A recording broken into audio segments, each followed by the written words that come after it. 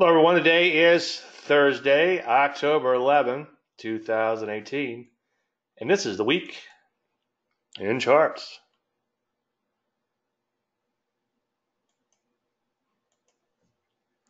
Obviously, I want to thank you guys and girls for coming today. I appreciate you taking time out of your busy schedule to be here. I'm humbled by your presence. I promise to make it worth your while today, especially in light of these market conditions. So what we talk about? Well, I left this in from last week. Trick or treat. Welcome to October. Benefit of the doubt, a cause for concern. One thing that I was talking about with my service peeps early in October and late September was that my gut was that we'd see the expansion of volatility in October, which is no big shocker because there's always an expansion, usually in October, of volatility. And the other thing was that we could just see a big shakeout. Now, I don't know if that was intuition or intuition, as they say in market wizards, but as usual, you have to believe in what you see and not in what you believe. We're going to pick apart all that too. So I'm going to say the word you should never say. Hopefully, hopefully this is just a big shakeout and the market can resume its longer term trend. We'll take a look at all that in a lot of details. Now, also, if you have some questions on trading, two things. One, if you don't mind, keep them relative to the slides until we get to the live charts, and then you can ask about anything you want. And if we have to backtrack a little bit, no problems. And then along a similar vein, wait until we get to the live charts before you ask about stocks. And when you do, and this is for your benefit, just ask about one stock at a time. So what are we going to talk about? Well, knowing and keeping it simple, and that's going to make a lot more sense in a few minutes. And also, can you be successful with just the basics? And of course, the elephant in the room now is the market, obviously. And we have potential major sell signals in the works. And I want to talk about those, go over a few things in the slides, and then when we get to the actual markets, we're going to pick it apart. And it's pretty ugly. How's that for an oxymoron from a trend following moron? There's a disclaimer screen. As you know, you can lose money trading, or as often sum it up, all predictions are about the future, and a lot of stuff can happen between now and then. That comes from Greg Morris. Sometimes I forget to give him credit on that. So I'm not going to go through all the details on this market timing system because that's covered in a lot more detail in the learning management system. I also just recently published an article for Proactive Advisor magazine where I went into the details of the system. I'm going to give you the rules today. We're just not going to spend a lot of time going through a lot of the details, and you can find them under market timing under the members courses on my website. So just real quick, over the years, my goal has been to simplify things after going through the grail hunts like we all do. And one thing that I keep coming back to is in technical analysis, first of all, the only way to ever make money on a trade is to capture a trend. I guess I'm getting a little further ahead of myself. But with technical analysis, the reason technical analysis works is because there's a hard and fast concrete rule. If a market is going to go from A to C and B is somewhere in between, it's going to pass through B along the way. Now, as I often say, you can't just buy at B, except a few caveats in IPOs, which we actually look to do just that. My point is that you're better off trying to buy at B than when the market's on its way down trying to catch a bottom. Because remember, as a trend follower, the only way to make money is to capture a trend. As a trader, the only way to make money is to capture a trend. People lose sight of that. In a Q&A session yesterday, somebody had asked me, am I worried that too many people would follow my system because I'm traveling the world speaking the good merits of my system? And my answer was no, because one, the only way to make money trading is to capture a trend. So trend following will never go out of style. And two, everybody will often put their own tweaks on things and try to beat the system or go off to chase rainbows becomes because some guru out there claims to have the Holy Grail, which he doesn't. I'm going to be careful because I don't want to digress too far. Anyway, getting back to the ABC thing, trading as easy as ABC or technical analysis as easy as ABC or trend following as easy as ABC, as I think was the title of the Proactive Trader magazine. At least that, at least that's how it got retitled. He tried to say. The point was, if a market is to go beyond C, it's going to have to go from somewhere around C and beyond. So if you buy somewhere between B and C, with the hopes, and I know I should use the word hopes, we're going to talk a little bit about money management in a minute, but your hopes are that by trading with the trend, that market will go beyond C. Not beyond say, but beyond C.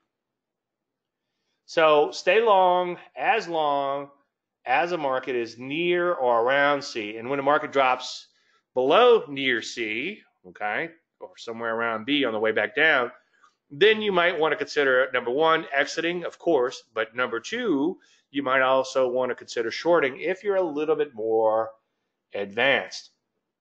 Now, maybe now would be a good time for me to touch upon shorting a little bit. So when we get to the charts, I'm going to talk a little bit about shorting. Now that I'm thinking about it, it's probably good for the people who are aren't up to speed on shorting.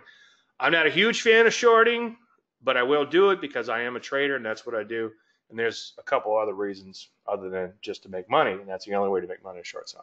Anyway, before I digress too far, let's get back to this little system here. Now, if you want to guarantee, you should do what?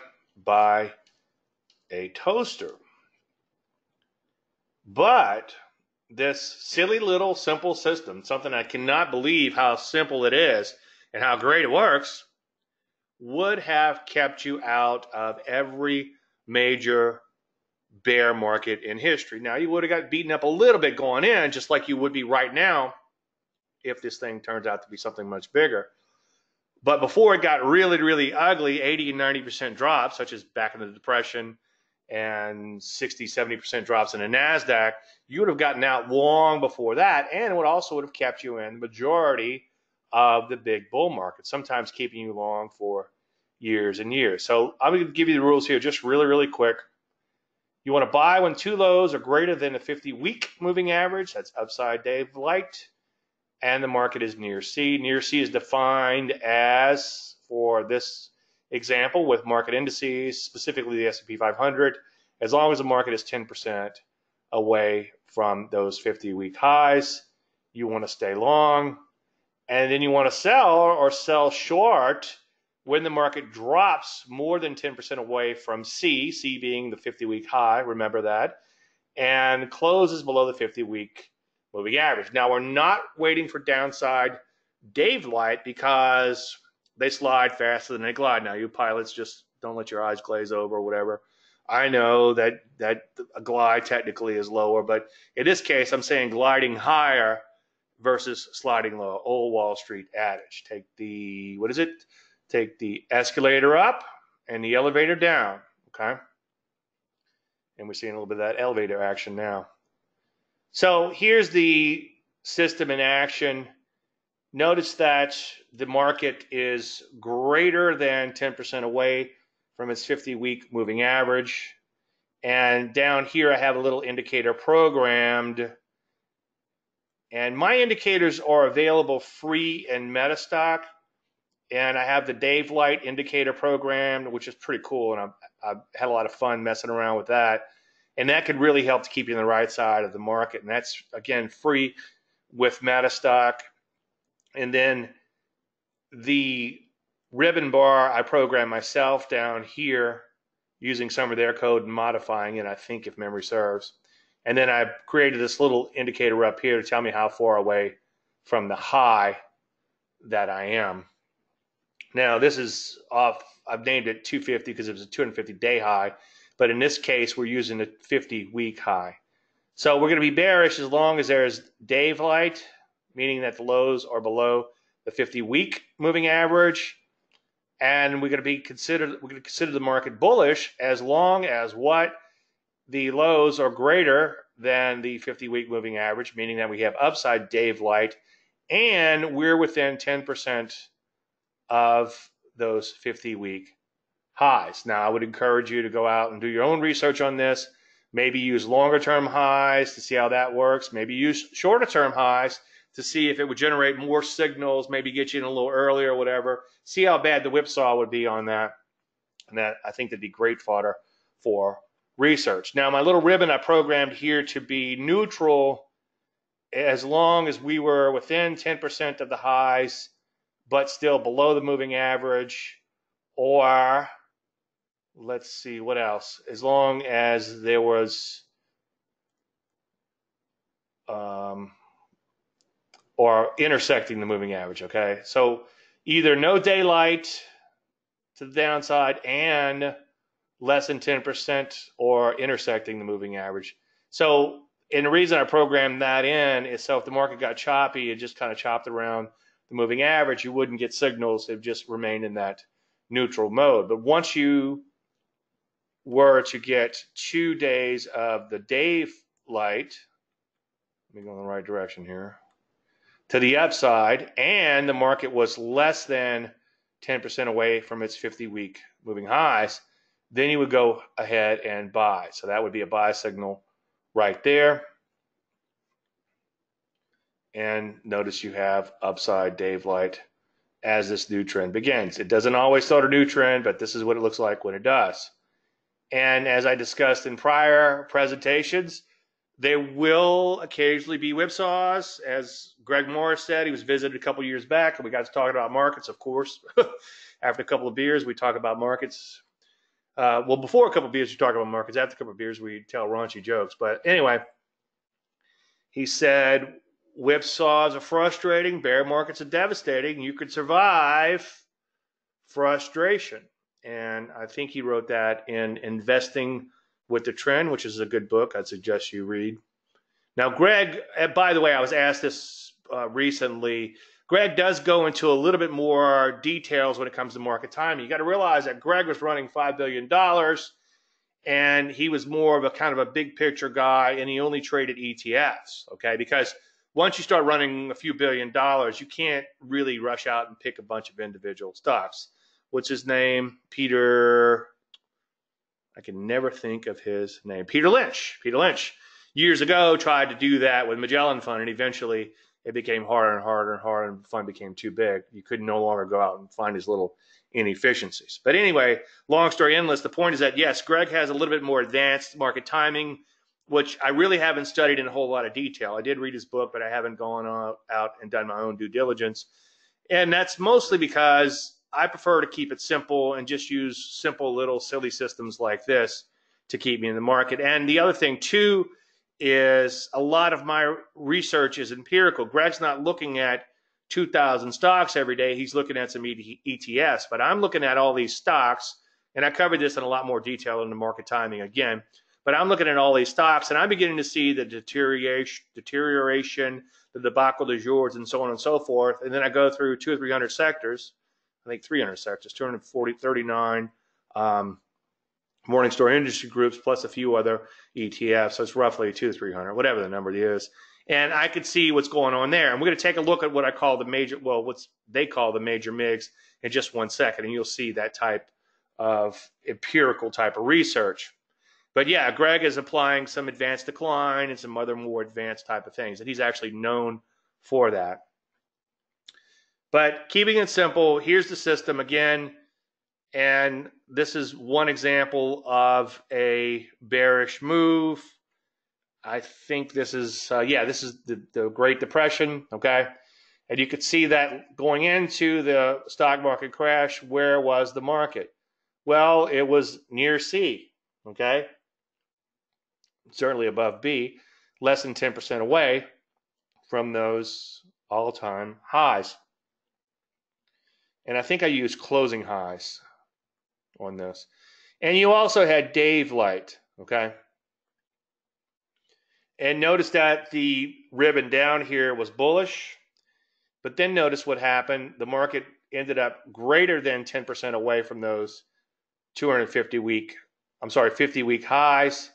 And then also notice that the market closed below the 50 week moving average, okay? So that would be a sell signal, and it also flips the ribbon to bearish. Now, the market went on to lose. If you look at those prior presentations I did on this, I think it lost about 83% from that level. It's pretty impressive. It seems like a lot to give up that last 10% in the end, but if you had a pretty good run, if the market's up several hundred percent, and, and in the end you give up a little a little move like 10%, I know a little move, haha.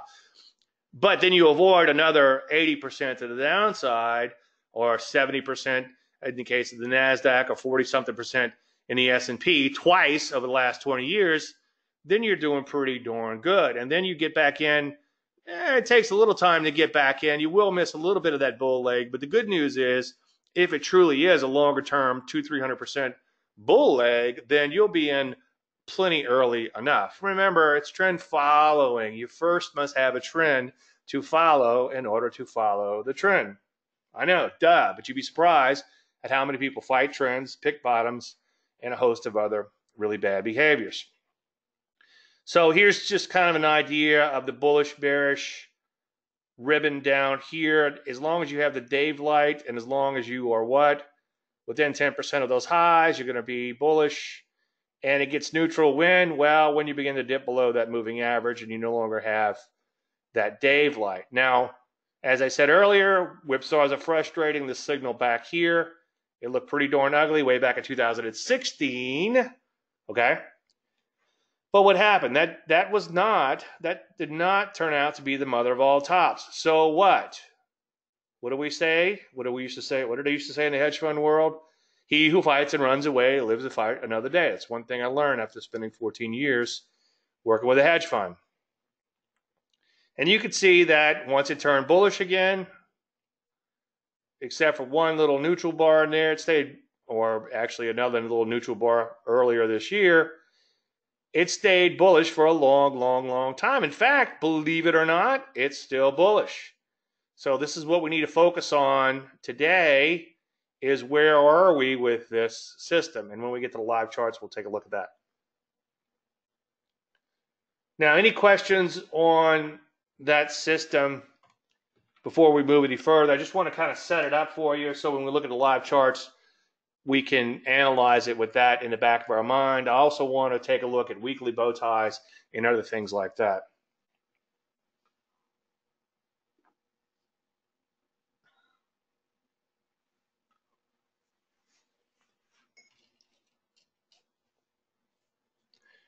Down almost 40 points in the P's could be a problem. Well, I'm down 31 points, but I hear you.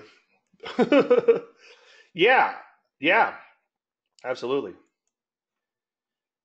Now, one thing I want to revisit is can you be successful with just the basics? And I did a presentation on this, I think it was a couple years ago. I found some slides that I did. And in working on this learning management system, it's really been it's really been super helpful for me. I know it's going to be super helpful for for you because in my case, even though I feel like I've gained all this knowledge, it's forcing me to go back in and look at everything really hard, and it's really making me focus just on the basic, basics. And it's also making me very cognizant of how crazy emotional I am. And by the way, you are too. And over the last couple of weeks, we did some presentations on being cognizant and how I'm now a lot more cognizant of my F bombs and things like that. So the question is, can you be successful with just the basics? Now, before we get into that, we all go through this cycle. You don't know that you don't know, then you know that you don't know, and then you know.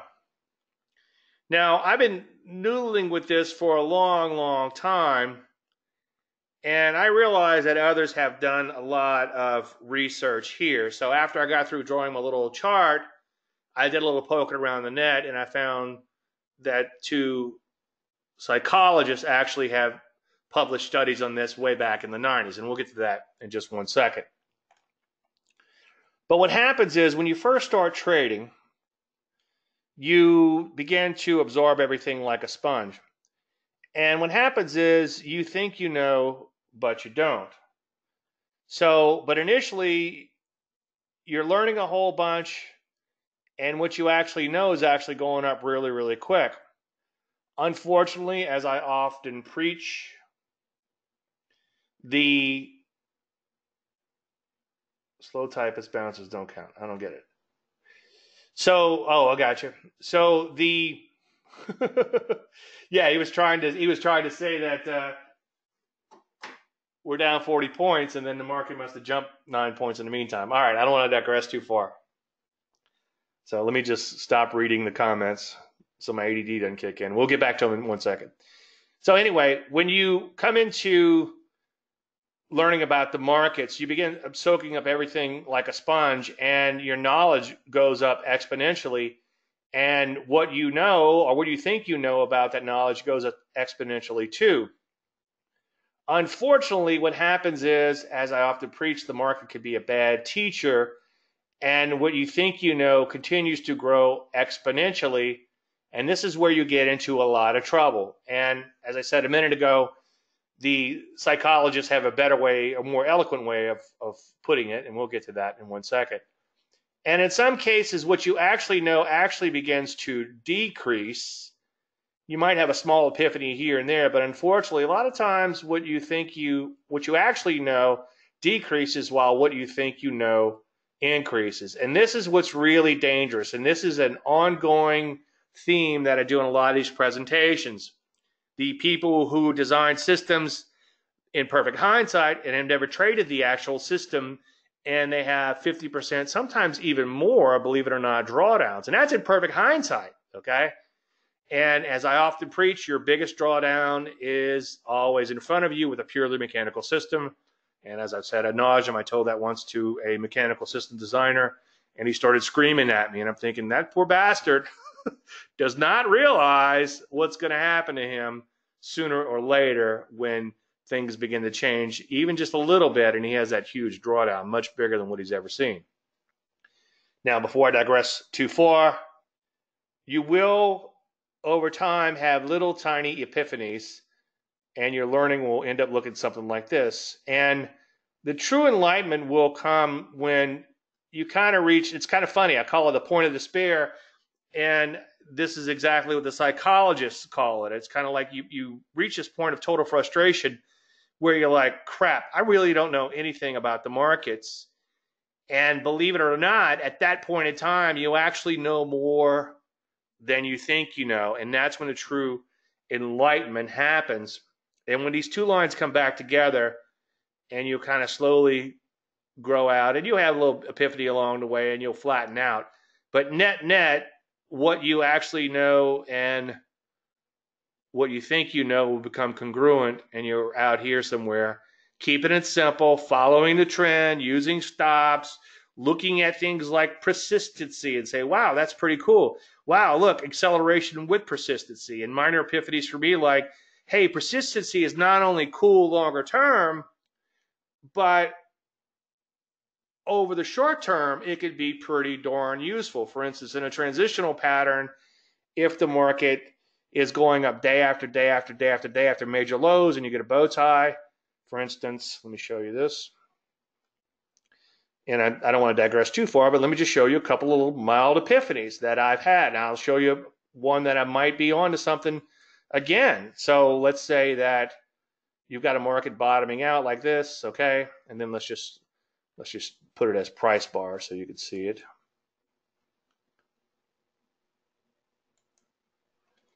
So let's say you have a market that's just dropping and dropping and dropping, it bottoms out, and then all of a sudden starts doing this. It starts going up day after day after day after day.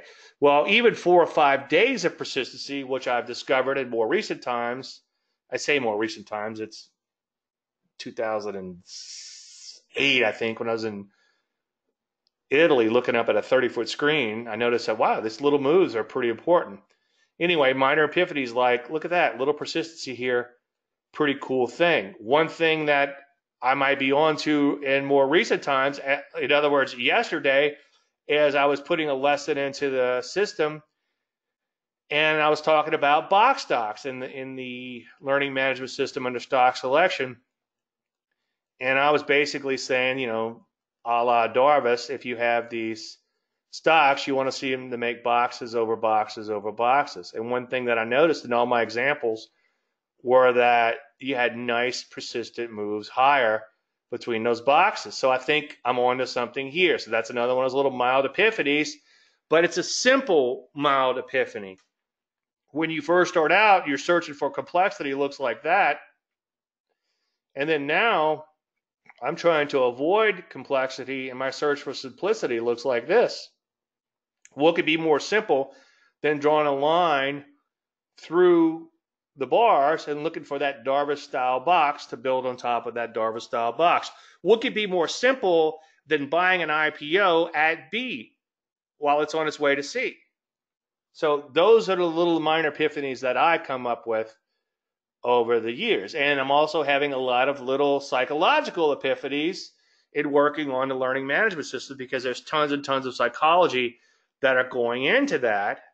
And as I preached last week, becoming more and more and more cognizant of my emotions. And I keep threatening to keep a little pad and, and, and X off how many F bombs that I drop. And I've been more and more cognizant of that. And I'm actually scaled back a little bit over the last week or so. A couple days ago, I had a stock beginning to implode a little bit on me. I'm dropping F bombs. Well, I noticed that another other stock was up modestly, but based on the position sizing on the money management, net net, I was actually up a little bit. So here I am in my office screaming F bombs like a madman, and I was actually making money. Well, I'll take making money any day.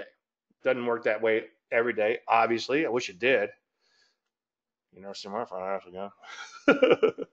so doing a little Googling along this learning management thing, learning curve management, I'm sorry, doing a little Googling on learning curves I stumbled across this Dunning Kruger Kruger effect. Okay, and I um, probably will do a little bit more research in there. I searched through all my psychology journals here, and I couldn't find anything on these two gentlemen.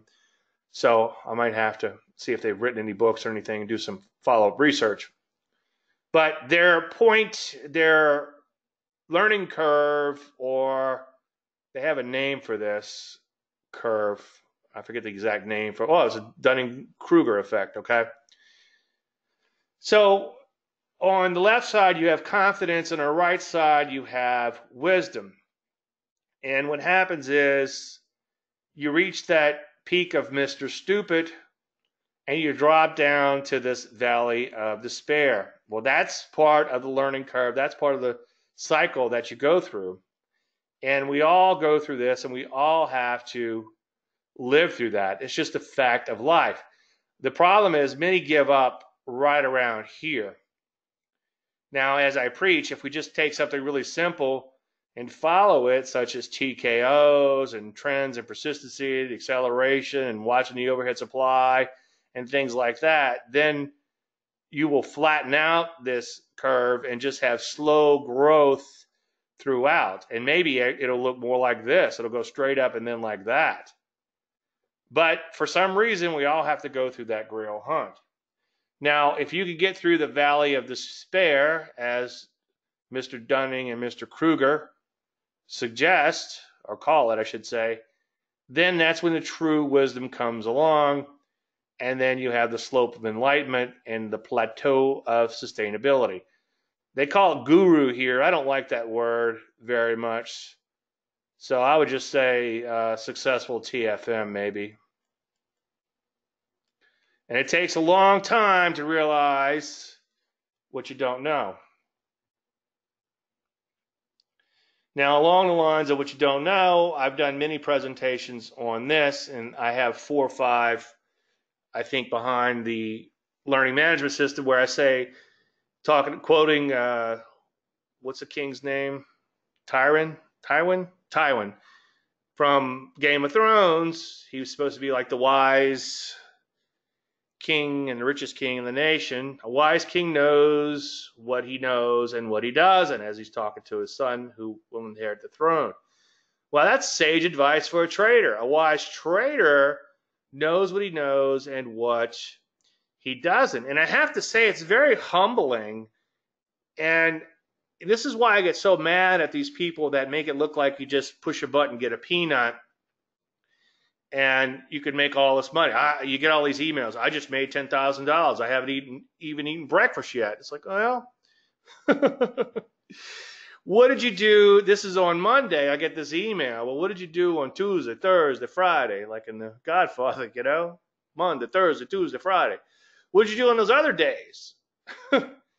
so be careful of the false prophet. Trading is hard work, and it's amazing how humbling it could be even after you've been at it for a while. I just read, as I said recently, I helped or been helping Linda Raschke proof her new book, which I would recommend you read. She's still working on the title, so it's not even it hasn't even been released yet. But in reading that, it made me feel really normal for screaming f bombs, for getting bummed out, and all these other emotions. Just because you decide to become a trader and do it for a long, long time doesn't mean that those emotions go away. So you should feel normal if you're struggling. In fact, if you're struggling and you're not giving up, that might be a, a sign that you're getting it. Now, if you feel like it's easy, then you might be at the top of that peak of stupidity. So I would caution you to be careful. So, along the lines of this Socratic reasoning, Mark Twain was attributed to saying, and, and there's some controversy on whether he said it or not. This, I think, was a line from The Big Short, which, if you haven't seen it, I'd, I'd recommend you watch the movie before I digress too far, it's not what you know, it's what you know that isn't so. And that's where you get into a lot of danger. And then Socrates, again, something that's attributed to him, but maybe not that he didn't actually say. Some other philosopher attributed to him, or I forget how it goes, but you know that you know nothing. Well, G.C. Selden in the Psychology of the Stock Market, which I have the little pamphlet, it's just a, it's a little tiny book. Here, you can actually get it uh, online for free and if you want the pamphlet, go to Books to Read on my website. But G.C. Selden said the Socratic method applied to markets, the trader would do very well.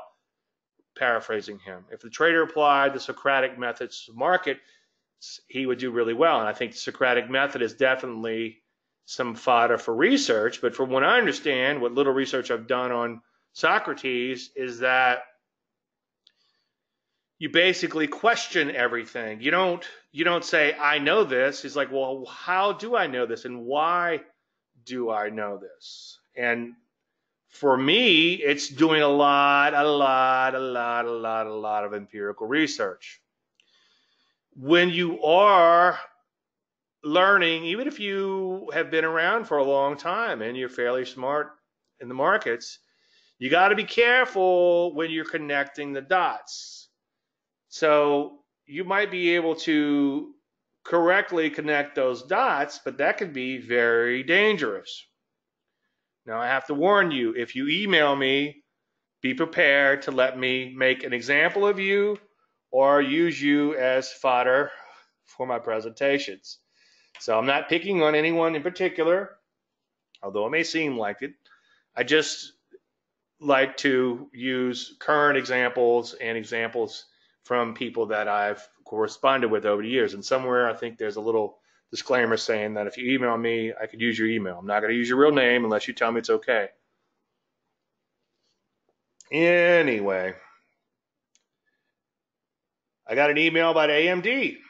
Interesting. AMD has been unbelievable, but could be at the end. Well, I got this email the day before AMD peaked. And what did I say as a trend following moron? I said, well, Donnie Think Vacuum. That's Slow Donnie. Do a YouTube on him. It was in the. I'm not a big fan of sitcoms, but this one episode was funny as heck. I forget this guy's name. He could be a pain in the butt, but he could be funny also. Anyway, he's Slow Donnie. He's pretending to be mentally challenged. And he often says, Donnie, think vacuum. And when uh, my wife and I are working on something, you know, Donnie think Phillips screwdriver. It's like my wife will say, I need a, uh, I'll say, she says, you need a, you need a, a regular screwdriver, a flat blade. And I'm like, Donnie think Phillips screwdriver, you know, we'll kind of go back and forth on that. And sometimes she's right. anyway, he came back with confusing the issue with facts Five times sales makes no sense. So many shares controlled by powers that be that paid under two bucks. Well, he's probably right, but what is is it's going up. But then what happened? Well, the stock begins to implode. So he possibly has just been trained to look for stocks with with no more than five times sales and shares controlled by powers that be, etc. Okay. Now, if you're going to make that your methodology, fine, but show me 100 examples of that and then find as many examples as you can where it doesn't work. Become your own devil's advocate, obviously. Now, I know as I'm giving this presentation, I'm sort of realizing that this, once it rolls over and once you have the bow tie and once you have the first thrust, then yes, something like AMD would fit nicely into the go-go no-mo strategy, which basically you're looking for a bow tie, first thrust, or other transitional pattern in a very thick, efficient type of stock that's priced for perfection. But that's another system altogether, and that system is still technical analysis based. The signal comes from technical analysis. You're just backing it a little bit with a few little caveats. But it's a short a market that's going up because of poor fundamentals is a bad idea. Write that down. Now, as I said a few weeks back, getting back to the basics and can you be successful with them? There are tons of people who could be great, but they don't practice the basics. They don't want to work at it.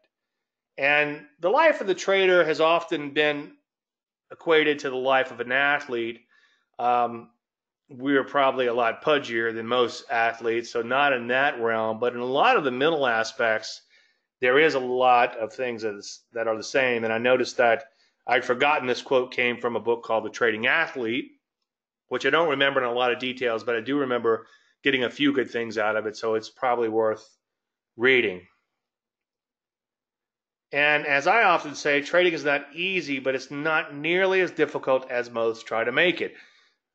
I am guilty as charged. I occasionally try to make it more difficult than it needs to be.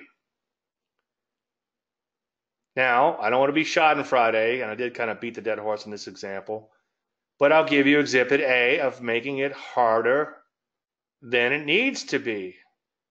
Bill Ackman started buying VRX in the 150s. And he rolled it up to well over $200 a share.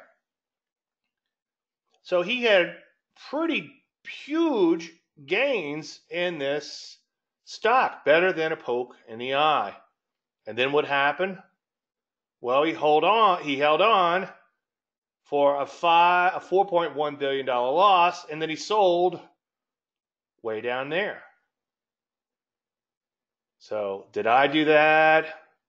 Well, I don't want to be Schadenfreude, but a little money management or just one of these simple little systems that I preach about would have kept you out of a lot of trouble. Yes, hindsight's 2020, but a stop in place and not fighting the trend and getting out when the trend has obviously turned, he would have made good money on this position. I'll show you a few examples in just one second, or one in particular, where simple money management was was a difference between a winning trade and losing trade.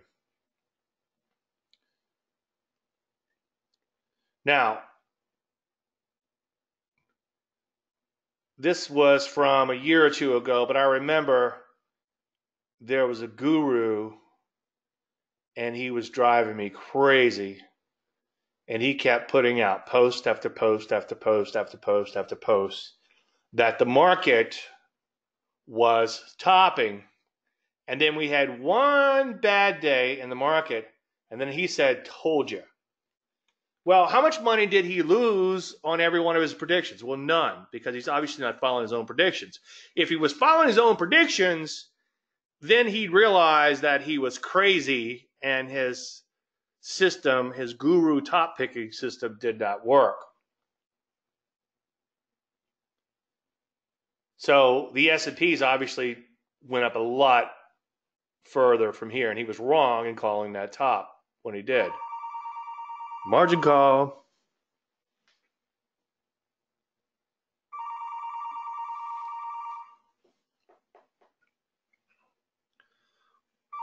Why don't you just unplug your phone? Well, I'll never remember to plug it back in if I do that.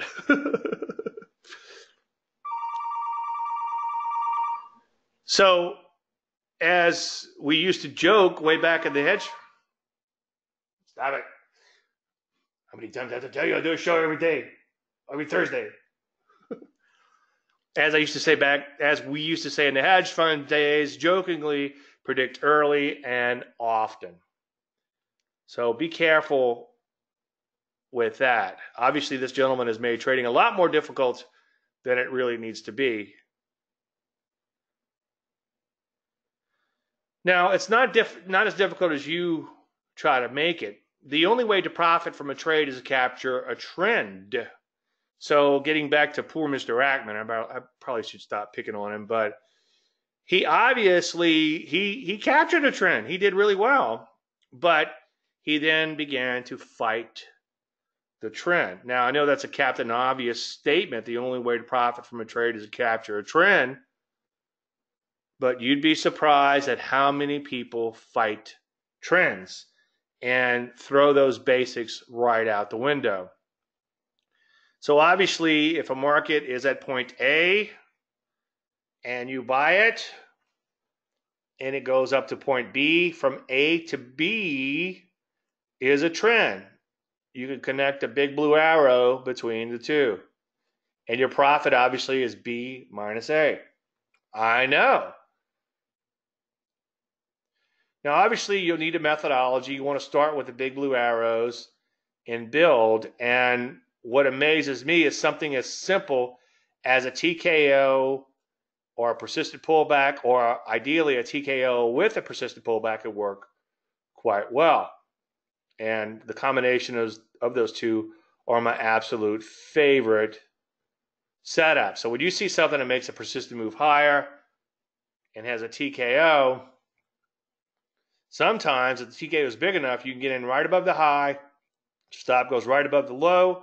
If you're following a money management, you add that. I'm sorry, if you're following a money management, you subtract that from that. And then put it up here and that becomes your profit target, your initial profit target. Sometimes it could be that simple. And sometimes it could be that obvious, okay? Forget about the stochastic and the wave count and the Fibonacci and the counting of the waves and all those other things I talked about imitating Arnold, telling everybody the problems with becoming a successful trader. Now, once you gain a little experience, then something like a bow tie could help you trade emerging trends.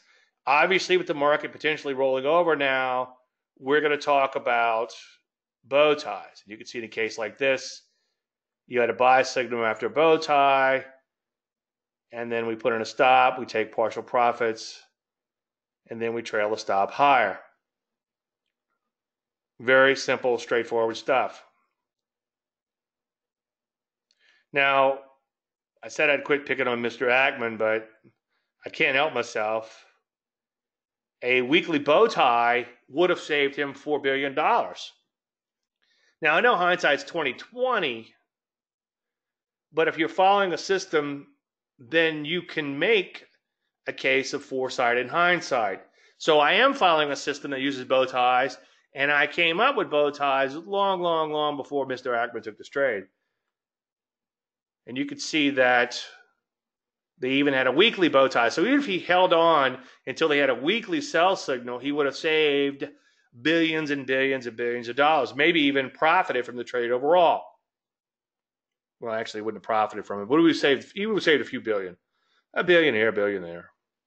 Now, obviously, you need a little money in position management. As I've said before, there used to be a tire salesman named Sam Bair and he would come on TV and he'd tell it like it is. Tires ain't pretty, tires don't smell good, but you gotta have them. And if you gotta have them, you might as well buy them from Allied Tires. Well, I agree with Mr. Bear. Applied to markets, money management ain't sexy, but you gotta have it. As I often say, money management will cure a multitude of sins. There's some long stories there, but just know that if you're trading at the right size from both a psychological perspective and a monetary perspective, it's going to help you out tremendously. Each loss, yes, you'll still have a, an F bomb or two, as I do. I'm trying to get better. but you're not going to be devastated and wiped out. You could survive frustration. You'll still be frustrated, but you won't be devastated. You can't survive devastation. So the simplest thing to always ask yourself is where would you be wrong as a trend follower? Well, Mr. Ackman, well, I said I'd stop picking on him, poor guy. Mr. Ackman was obviously wrong. Now, he wasn't, you didn't have to wait until he was way down here 2 billion, 3 billion, 4 billion, 4.1 billion. You know, he could have stopped way up here somewhere, only losing 1 billion, or maybe even if you go back to the original chart, I think he would have even been profitable with a fairly loose stop on the trade. So, without going into a lot of details, just keep your money management real simple. Just simple things like if you buy a stock and it comes right back into the base, you are wrong. If you're buying something like a bow tie and the stock is coming off of major, major, major lows, and that stock goes back to those major, major, major lows, then you are wrong. Now, there's plenty of examples of this, but you get the idea. Somebody once said, stops kill. okay, well, that'll work until it don't. Sometimes you have to get out the way. Now, sometimes you have to get out the way when you're losing open profits. There's nothing wrong with that. Like Mr. Ackman, he could have gotten out the way and made a lot of money, a few billion maybe. Okay? Now, here's just one example, and this happens quite often. But we took partial profits at 21%. We trailed the stop higher. We got stopped out. Okay? Now, there's no guarantee. Sooner or later, you're, you're going to get whacked on the downside. Okay? It happens with the silent SH. I, I want to make sure that this video doesn't get demonetized. But sooner or later, yeah, you'll get this big adverse move against you and you'll have to deal with it. But more often than not, you'll get stopped out before big trouble. Okay? As I often preach, it's always darkest right before it gets more dark. So a lot of times, think about it. You're in a position, it's going down, it's going down, it's going down. Well, it's going down so far. How much further can it go? A lot. It can go to zero. Well, I can't sell down. I'm down too much. Well, that sunk cost fallacy will get you in a lot of trouble. Now, on a positive note, without going into a lot of details, obviously we take the swing trade profit out with the hopes of it turning into a longer term trade and then we trail that stop higher. Sometimes it works as far you get the swing trade and then you get the longer term trade, and sometimes you don't. At least you get the swing trade out, as I often say, better than the poke in the eye. Now, obviously, you're going to need a little bit of psychology. And this is the section that gets bigger and bigger. The psychology section and the holistic trader under the members area are growing by leaps and bounds. And I, and I have so much material to put in and every day, I just it's just like keep uncovering more and more things that I want to put into those section. And as I often say, if I had somebody who wanted to learn trading and was new to trading, or if I could go back more importantly and talk to that young punk version of me, I would say study psychology really hard and then learn how to trade. Okay. And then mix that psychology in with the trading. In the learning management system, you'll notice we have mind, members mindset. And then we have the methodology, and then we have money management, and also the holistic trader, which is a little bit of all four, or all three, I should say mind, money management, methodology. Well, I suggest you go through those, take all courses simultaneously, because as you learn about the methodology, you learn about the psychology involved. And as you learn about the money management, you learn there's a psychology involved with that and then the three are all intertwined. Now, as I preach, the battle is often from within. The Pogo comic, We Have Met the Enemy and He Is Us, comes to mind. The beauty of trading psychology, even though I have I have literally a, a, a, huge bin, which is almost, which is actually too, it's going to be too big to move. But I have a book, a, huge bin full of about 50 or 60 books that I plan on reading in psychology I have eight psychology journals, plus a couple of, of biography books, two out of about 10 that I plan on reading. I have two now. I plan on reading all 10 of them. So I have tons and tons of, of work ahead of me, and I've done years and years of work so far when it comes to trading psychology. But the bottom line is if I had to boil it all down, and there's some neurology involved and, and physiology and things like that, but if you boil it all down, once you get a little experience, you know what you're doing wrong. And as I said ad nauseum, when somebody calls me, I don't know what I'm doing wrong. It's like, well, okay, um, what do you think you're doing wrong? Well, I'm not honoring my stops. You know, they immediately tell me. And when they don't, what happens? I know I've said it ad nauseum. I can look at their trades and pretty quickly tell them what they're doing wrong. And what do they say? Well, I know, I know, I know. Livermore years ago said a stock speculator sometimes makes mistakes and knows that he is making them. How many times have we done that? I'm coming into this show, all right? Confession time.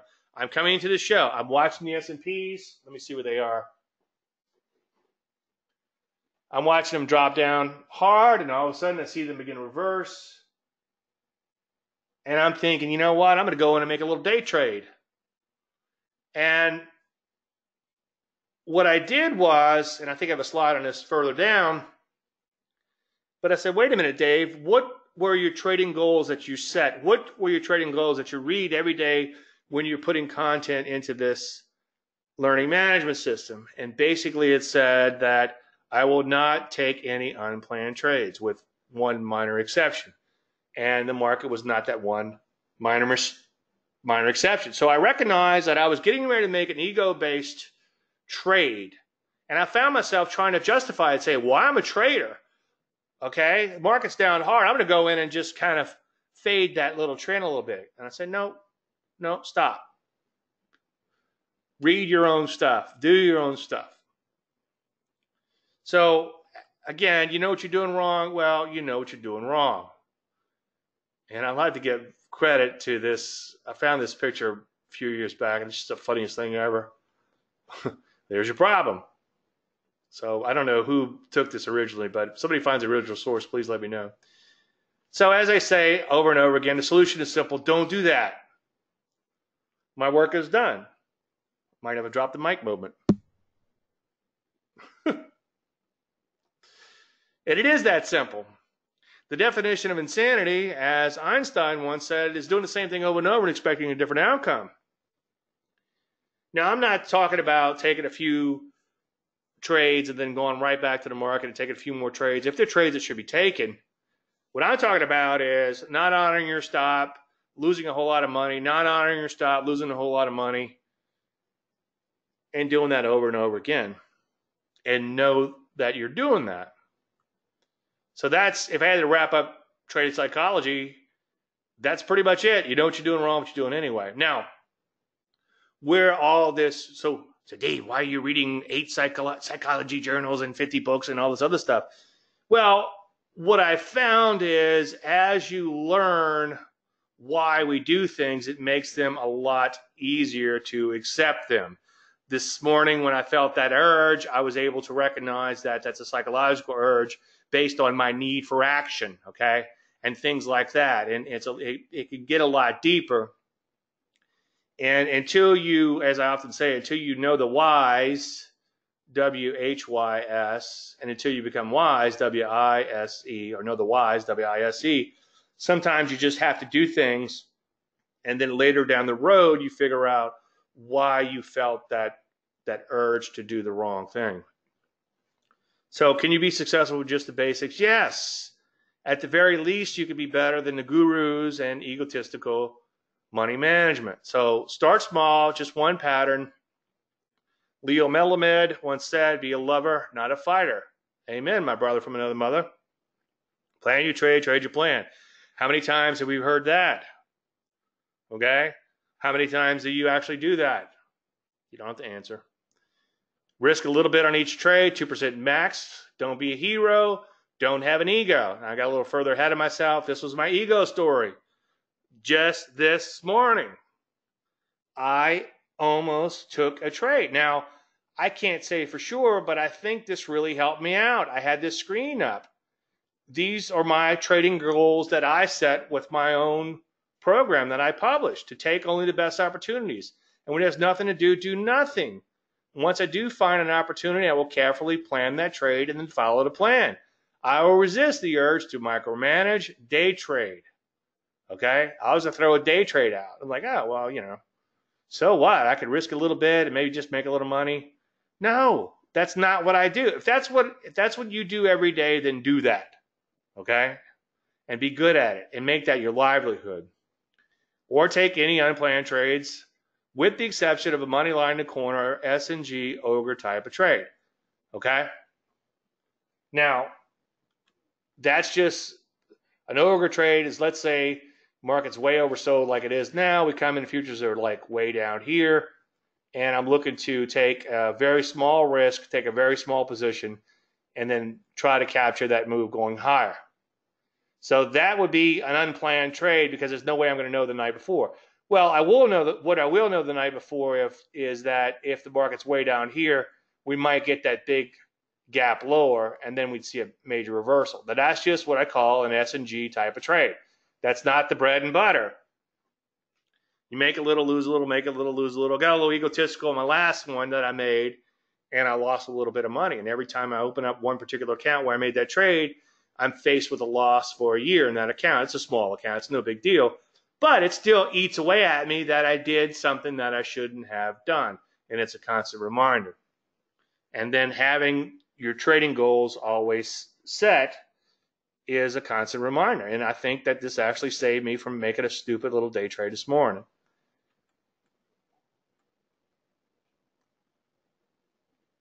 Now, easier said than done. I know that.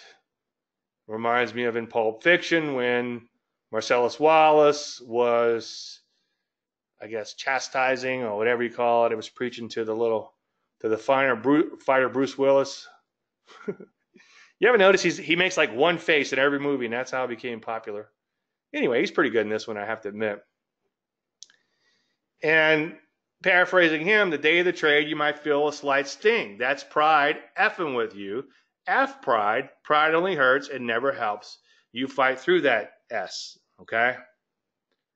And it's easier said than done, but if you can kind of, I like kind of making a game out of things and being silly and that's one way for me to not go crazy in this business. And so it's like when I feel the urge to to micromanage or do something I shouldn't do, I force myself to recognize that wait a minute, I'm doing something kind of stupid here. And it doesn't take some big long-term psychological um, what would you call it therapy all it might take sometimes is say, wait a minute, let me just take a deep breath, pause for a few seconds, and ask myself, am I trying to force something to happen? Is this a trade outside of my plan? And if I just can't resist it, then by all means do it. But 99 and 100 times, if you take that time to do that little bit of introspection, to, to see whether or not you're actually violating your plan or doing something off the cuff, you're going to avoid doing it. All right, just real quick.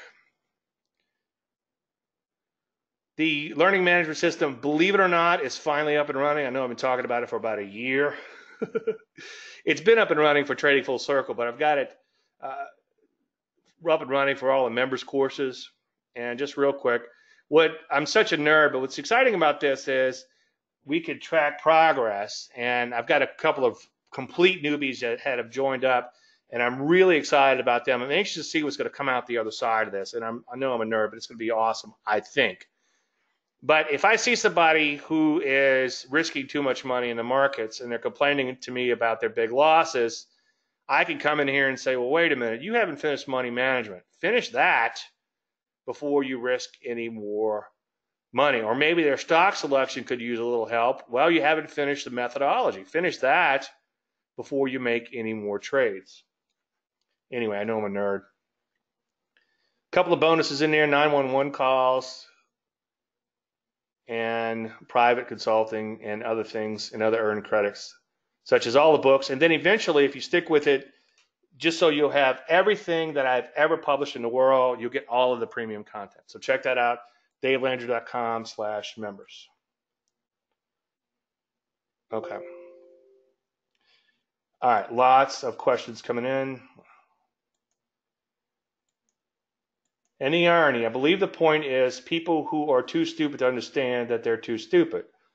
Yeah, yeah, it's and that's the big that's the big dilemma is and it's it's so humbling when you finally get it. And that's why I'm always out here saying I mean, I could sell so much more educational products if I just said, "Oh man, you can make all this money and and so can you and blah blah blah and or I can I made as many all this money and so can you and it was so easy. Well, it's not easy. It takes a lot of work. It's not nearly as difficult as most try to make it though. And that's the bottom line. But yeah, it's pretty humbling when you're coming down that what you think you know slope. Sar- Sergeant Schultz was a smart character. He knew nothing. I know nothing. Herbalife Pershing Square 2. I don't know what that is. Is that a stock you want to look at? Herbalife Pershing Square. Not sure what that is. All right, let's hop into the charts. Obviously, you guys are probably just eyes are glazing over, waiting to get to the charts. Herbalife Pershing Square. I don't know what that means. Enlighten me. See, I don't know. I don't know, and I don't know that I don't know. I know that I don't know. All right, let's take a look at the piece. Well, there's the spiders first, just to get a, a true opening. You can see we did gap low this morning. We did shoot lower, and now we're bouncing off of those lows. Just for S and Gs, let's see where we are on an hourly basis. As one of you pointed out recently, um, all these indices have a bow tie down on an hourly basis. Yes. And when you do see a bow tie, not you want to rush out and trade hourly bow ties, but when you do see an hourly bow tie for major highs, you probably want to pay attention. But yeah, it looks like we're a long ways away from an hourly bow tie back up. Now let's get back to the daily. This is the 50-day moving average. A lot of times, as I say, you'll get a bow tie fulcrum right at the 50-day moving average. That could be a pretty powerful pattern. Okay. Let's add in the 200-day moving average. Oh, Ackman owns Pershing. Okay. Pershing SQ. I don't know. Give me a symbol. Nine out of ten times, I don't even know what the name of the stock is. Okay, uh, SP. Oops, 200. So let's put a 200 day moving average in here, and then let's change back to the cash market. So 200 day moving average, believe it or not, I didn't realize this until I just plotted this. We are actually trading below the 200 day moving average. Nothing magical about that, but it can help keep you on the right side of the market, especially if you use something like daylight. We have had no downside daylight on a daily basis in the 200 day moving average since 2016. Wow, that's pretty cool. That's really cool. So this entire uptrend, even though we had a few little intersections in here, has been contained by the 200-day moving average. Nothing magical about that. Don't rush out and trade that as a system in and of itself, but certainly pay attention to that system, and that might keep you out of trouble. I was in Asia a few years back, and Asian markets were down 30%, and so was this gentleman. Well, I guarantee you it went through the 50 and the 200 long before it was down 30 something percent, as he also was, and he claimed to be a trader. Now I'm picking on him, but same thing happens in Germany and wherever else I've been. Human nature is human nature. All right, let's take a look at a weekly chart. On a weekly basis, the market still looks okay. Doesn't look too bad. And this is that 50 week moving average. Let's see where we are percentage wise. We're only down, I know, only, we're only down 6% from that closing high. So that's not too bad if you think about it. And what was the system earlier? 10%. So we still got a little ways to go. Now, this doesn't mean that you hold on to the longs that you're long. The model portfolio right now is completely flat. We do have three stocks we're looking at on the long side. but they haven't triggered yet, and they might never trigger. So honor your stops and get out the way. Again, he who fights and runs away lives to fight another day. But pay attention to this system for a possible longer term timing signal.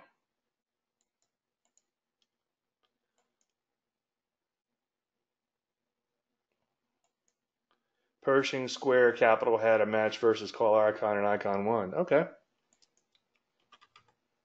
Let's take a look at the P's. Let's take a look. I want to show you some death and destruction here in one second. It's kind of scary. All right, so here's the actual cash S&P market, but same sort of everything pretty much applies. On a daily basis, we're down below the 200, just dipped below it. Had been below it since when? 2016. Let's take a look at NASDAQ. And then let me go over to the major MIGs. The major MIGs are really, really ugly, and that's got me really concerned. So I don't want you to think just because we haven't, we don't have sell signals in this market timing system that I'm not concerned about the market. Because take a look at the Nasdaq. You have a bow tie down the Nasdaq. Now it just triggered a little later, or it's not. Let's see how it sets up. It in the in the Russell 2000, it's set up perfectly. Yeah, so it really isn't. It really hasn't set up just yet. So if we bounce in here, we're going to have a daily bow tie sell signal in the NASDAQ. NASDAQ looking pretty ugly, well below its 200 day moving average as we are today. When's the last time it went below its 200 day moving average? Or last time we didn't have daylight? Look at that, going all the way back 2016. How cool is that? Yeah, there's been some zigs and zags along the way, but you get the idea.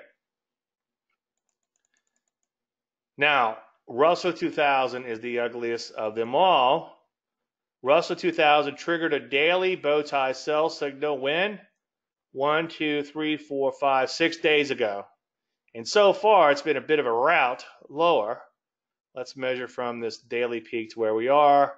We're right at about almost 10%. So if you're if you're looking at a 10% system, let's put a weekly in here.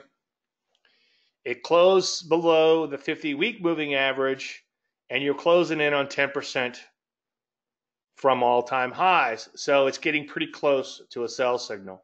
So at the least, that should make you pull your horns in.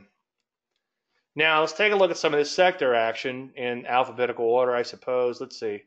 Let's go by alphabetical order or no particular order. It doesn't matter. Chemicals breaking down, bow tie down. Computer hardware getting ready to bow tie down, breaking down, not far from the 200 or on its way to the 200, I should say. Software, not far from the 200, bow tying down. Conglomerates beginning to drop out of bed. Durables sliding, as you can see. Non durables sliding, as you can see. So the list goes on and on. There's a few I want to point out. Semiconductors have been abysmal as of late, and that's a little bit of a bummer. I'm a huge fan of the semis confirming what you're seeing in the overall market. Semis look like they're in trouble. Now, the energies have been doing okay, but looks like they're getting thrown out with the bathwater now. You see, energies broke out nicely just a few, just about a week ago or so, and now they've come right back in. Another cause for concern. Now, financials, I don't like looking at that financial. That basically just mirrors a lot of different funds. But if you take a look at XLF and financials, it gives you a true picture of what's happening. Financials beginning to break down. Let's take a look at you know food and beverage. Not a whole lot of trading there, but beginning to break down. Health services longer term uptrend, but beginning to get in trouble in here. Insurance breaking down.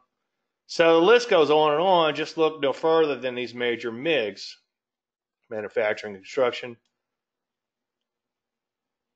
retail. Retail is a little concerning in here. Retail one of your stronger areas beginning to break down. As I often say, relative strength and momentum, or trading relative strength, trading momentum based on relative strength, looking for the hottest sector or sectors and staying along those sectors is a really good way to trade. Unfortunately, momentum ends badly. If uh, years ago, I spent a few years researching buying new highs in these more volatile issues, especially when they bought, made highs on, a, on an expansion of range. And it absolutely printed money. I called it the Landry 100. It was a lot of work to maintain, and it wasn't actually being traded. I had a fund that was looking at me and wanted to to do this type of trading, this momentum, wanted me to maintain these momentum lists for him. And it just never materialized. And it was just personal reasons with this gentleman. He just wanted to trade his own stuff. I think he, he didn't want to get back into money management, but he was kind of noodling with it. Anyway, long story endless, it pretty much printed money for quite a while, but occasionally ends badly. And I guarantee you that those 100 momentum stocks coming into the sell off would have gotten whacked really hard. And as I've said before, if I could solve for that, that big implosion in the end, you'd never see my fat arse again. I actually told that to Mike Booty was showing a momentum type of system once at the American Association of Professional Technical Analysts meeting, as I often say, and I actually told Mike that. And then his his reply, I don't know I've said this a thousand times, but his reply was like, Dave, he's kind of low key. If you're gonna have a baby, you're gonna have baby poop. now babies are kind of cool and neat, but they come with a lot of poop. Well, if you're gonna trade momentum, especially stocks that are going straight up, that's a great way to trade, but eventually it will end badly. And again, if I could solve for that, see you. No, I'd come back and taunt you a second time. So anyway, as we finish up these sectors, it's just ugly. Let's take a look at bonds, and then I want to look at uh, gold and silver real quick, and then we'll pop out, uh, start asking about individual question, uh, stocks if you want. So bonds have been a route lower. As I preach, it's not the actual interest rate, it's the delta in rates which freaks everybody out, or the change. And obviously, we've had a pretty big change in recent times. We took out these multi year lows. Let's take a look at a weekly chart. Let's just go ahead and get a clean chart here. And then uh, keep asking about individual stocks, and we'll get to those in just one second. So here's a weekly bonds. If we back the chart way, way, way, way out, we could see that we have taken out these multi month, I'm sorry, multi year lows, and it's looking a little ugly in here. So now um, somebody was came out to look at the house yesterday. We're selling our house and uh, she's like, the stock market's been doing really good, huh? And I'm like, uh, you haven't seen it today, have you? she's like, oh, what caused that? Interest rates? I'm like, well, it might be blamed to that, but you can't always connect the dots. And anyway, so the man on the street obviously has taken notice, and that's usually an interesting sign. Let's take a look at gold real quick, and then um, we'll get to your questions and stocks. Now, the good news is gold is finally getting a bid. Okay, I was a little nervous last few days because the market's falling out of bed and gold's not doing anything. So, what that, where that, why that scares me is if there's no flight to safety, if the baby's getting thrown out with the bathwater, maybe that's a bad analogy. Let me rewind that. If there's no flight to safety, if people aren't rushing to bonds, or gold or something other than stocks to put some money in, but rather selling those markets or certainly not buying them, then it's it then it becomes what's known as a liquidation type market. At least today you're seeing a little money go into gold, which means there's a little bit money left. Okay. So I think this is very encouraging that gold has rallied. I got a Facebook message somebody asked me about should they buy silver because it's going up? It's like it's not going up. You know, today it is, but two days ago or three days ago when they asked me, it was actually dropping. So no, and then all those idiots on TV, I believe that silver will go up 200 percent. It's like okay, well, put all your money. They don't sound like Grover, but that's my imitation of them. You know, draw your big blue arrow, you idiot.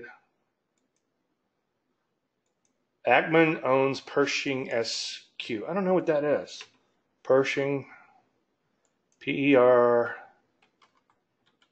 Pershing, Pershing Gold, Pershing Gold. I don't know what that is. Give me a symbol. Donnie needs symbols. Pershing Square Capital had a match versus Carl Icahn. Icahn won. Okay.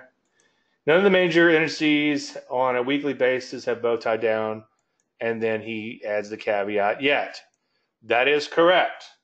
And I'm glad you brought that up because I meant to point that out earlier. Let's go back to the P's. I know I bored. I actually had a few people ask me, stop showing that chart every week. So I quit showing it so much. But you had a bow tie down in 2000, a bow tie up in 2003, a bow tie down in 2007, very early 2008, a bow tie up when 2009. Okay. We did have one, this signal isn't a major signal because it's not of all time highs, but we did have one little blip in here. And you know, the Russell 2000 dropped about 18% from that one little blip on a weekly chart. So do pay attention to that in addition to the 10% system. But we're a ways away from a bow tie down. Now keep in mind that a moving average will have a lot of lag to it. That's why something that's price based, even though I love my bow ties, they're sacred to me.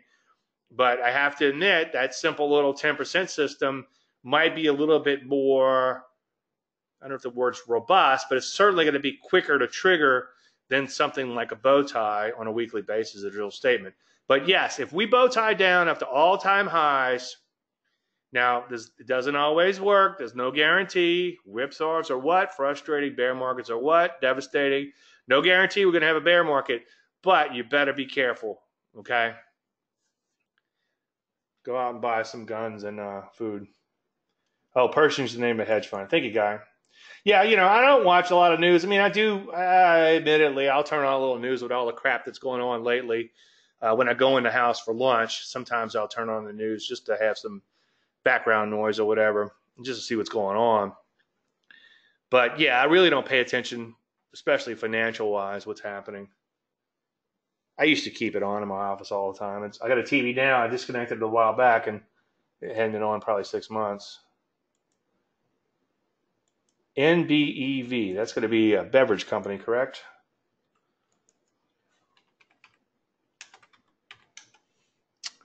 Um, it's kind of all over the place, okay? Look at the HV. HV is 288.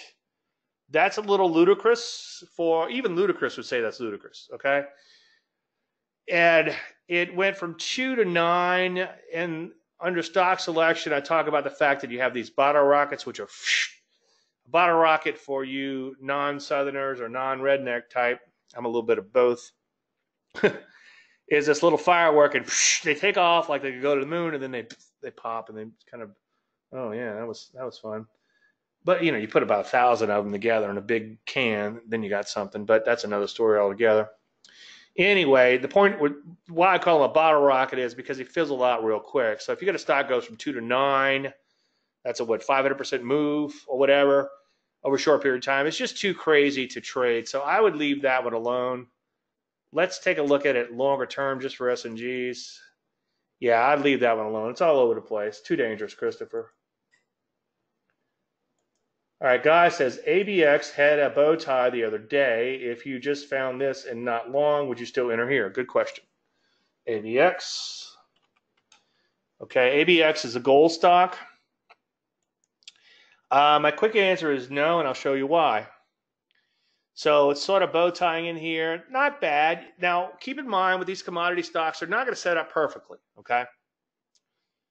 And the reason I would not take it is because if you look right above the market, you have a big mound of overhead resistance. And a lot of the metals are going to look like that, okay? So good eye in finding a stock that appears to have bottomed out. Unfortunately, it's going to run into trouble fairly quickly. How about IGC for a bottle rocket? That's a crazy one. Now, a bottle rocket is not a tradable pattern. A bottle rocket is something you want to avoid. But yeah, great point on that. Um, I was watching this one in pretty much amazement. I think they, I think they added the word cannabis to the name or something, and then it just went crazy but I am keeping an eye on those cannabis stocks, obviously, just in case. okay, any more? We got a few minutes left. All right, while we're in impasse, I want to thank everybody for coming today. I appreciate you taking time out of your busy schedule to be here. Oh, by the way, I do have a free course I just added to the members area, davelandry.com slash members. And you can start with the free course. If you get through that and you take all the quizzes and you like what you hear, then you're going to really love the rest of it. If you don't, then maybe not so much, but give it a shot. It's free. All right, we got one last one. Uh, question on chandelier exit. Have you used it? Like it? No, I don't. I don't use a chandelier exit. Um, somebody asked me about that years ago, and I think it might have been somebody actually wrote about it recently in Proactive Advisor magazine, which that's the magazine I published that system in. Um, if memory serves, it's going to look a lot like any type of trend following exit is going to look a lot like my own money management in my own trailing stops. And a lot of times people look at my trailing stops when I draw them on a chart, and it's like that looks like a longer term moving average. And a lot of times they will look like a longer term moving average. One thing I needled with years ago is like what would what would happen if you took a let's say start off with a 10 day exponential and then went to a 20 and 30 and 40 and kept going higher on your moving averages until you reach some sort of critical mass and then followed the market higher with that well, that would work, except that sometimes markets have long consolidation periods and your stop would be tightening throughout. Now, from a system design standpoint, maybe there's a reason why you'd want that to happen. From the way I look at markets, I would say, no, let's not do that. So the with the chandelier, chandelier with the, with the chandelier stop, I think it continues to tighten as the market continues, uh, even if the market goes sideways. So experiment with it, play with it but I think it's going to end up looking like something that we're already doing. And then I would suggest, and this is just my own opinion, obviously. I hate when people say "in my opinion." You know, it's like, uh, do you give opinions for others? um, but in my opinion, I prefer just leaving a stop where it is while the market consolidates. And that's getting back to that box thing I was talking about one thing I was discussing when talking about Darvas style boxes under stock selection is that sometimes if you're trading a TKO or maybe like a bow tie, get you like really early into a stock that later turns out to be a box stock. If there was a way to identify these box stocks ahead of time, these Darvas box stocks, how I made two million in the stock market, I packed away my book. I'm kind of angry that I packed that one away because I'd like to reread it and see what's in there. But from what I remember, it was a good book and he talked about these stocks that build boxes on top of boxes, and that's a great way to to trade. But I think that you can't just trade it uh, like that because it, trend following, longer term trend following, does have some issues, and that's why I think it's more important to find that swing trade and then have it turn into a box stock. I know I'm turning it into a whole new lesson, but yeah. Um, getting back to your chandelier stops, I, I, don't use them, but you might want to uh, certainly can check them out. SQ as a short. Yeah, I mean, you know, this is getting kind of crazy, kind of fast. You know, this is one of my one of the things. I'm glad you brought this one up. One of the things that I talk about is as a trend follower, you say, okay, trends, trends. I'm not going to say when the trend ends because I'm a trend follower, but you of course have a chair ready for when it does.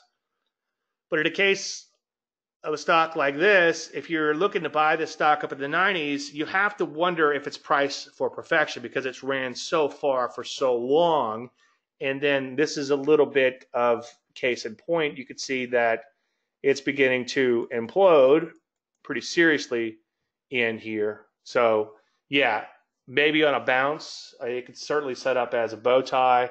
Uh, that's what I call a force bow tie when it slides through it and the bow ties change quickly and then uh, it'll also set up as a first thrust on the short side. It's a, it's going to be a little bit dangerous to short something like that. I'd much prefer like a big, thick uh, retail type of stock or something like that. CRMD is a long. Good, uh, good questions today. Um, this one is on my watch list, and I'd recommend you put it on your watch list. Couple things: volatility is kind of nutso at 131. But yeah, I think it's got it's made a huge longer term bottom. It's it does have some Phoenix characteristics to it, even though it's ran quite a bit. It's only at a buck and change, and it could possibly go all the way back to its old highs. That's the whole idea with the Phoenix strategy. Some overhead problems to deal with, but that's going back a few years. yeah, I think uh, keep an eye on this one. Like I said, it is on my momentum list. Wait for the next pullback, though. I wouldn't just jump in blindly unless you want to use a dollar and sixty cent stop. then by all means, knock yourself out. I'm kidding. Put SQ on a log scale, broken LT chart. Yeah, I, I don't doubt that at all. That's something I was uh, just editing a video on recently, logarithmic. You might have been in that webinar, Phil. It was in stock selection webinar. Um, it might have been you talking about the logarithmic charts. But yeah, absolutely. You know, when you do get it, I, I hear you. If you want to go long, long term, something like SQ, and I didn't realize it when I first got T- TC, but when you go to the weekly charts, it automatically switches you over to log. But yeah, I hear you. Absolutely. It's beginning to break that longer term trend. Mother of all uptrends on that one. All good things must come to an end. Climatic looks like a V top. Yeah, I hear you. You're welcome, guy. Thanks for coming. All right. ANET. Did we talk about that one? Another whoosh. Yeah, kind of a crazy stock, but it had that last little last gasp higher. And see, this cut might be a good short. It could be a little thicker for a short, but it's not bad.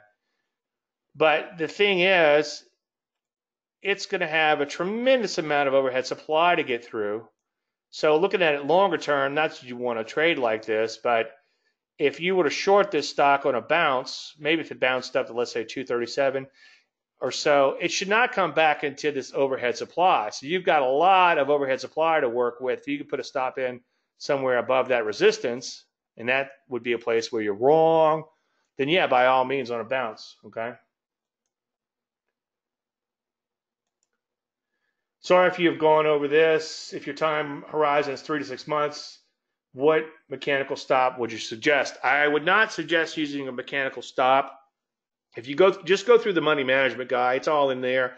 But what I do is I eyeball the short-term volatility. Some people ask me if I'm using ATR. The answer is no, but yes, if you if you try to quantify it, it's going to be a little bit ATR-ish. One of the problems with quantifying volatility to set a stop is that if you really look at the statistics, that stop's going to be like really, really, really wide to survive that short term volatility. So I eyeball it.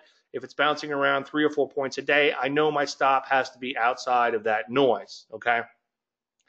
And then to make the transition to longer term trade after I get my swing trade piece off, if I'm blessed with that, my stop goes to break even. And then longer term, let's say I started off with a four point stop. Well, that stop might slowly widen out to be a much longer term stop. Now, I'm giving you like a quick cra- crash course here.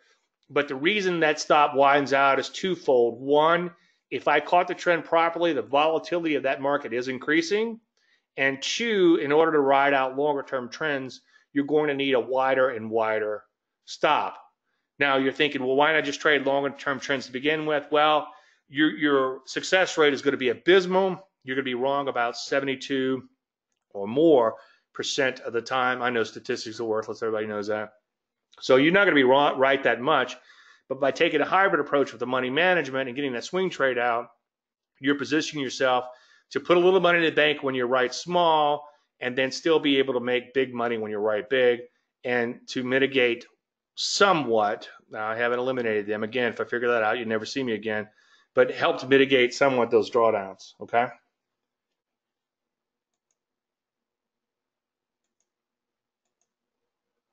Invax. Um, this one's not really jumping out at me. Yeah, here's the problem. It's got this big gap down. Okay. I think my Cajun just slipped out. It's got a big gap down. People say, You Cajun? I never hear it. It's like every now and then it slips out.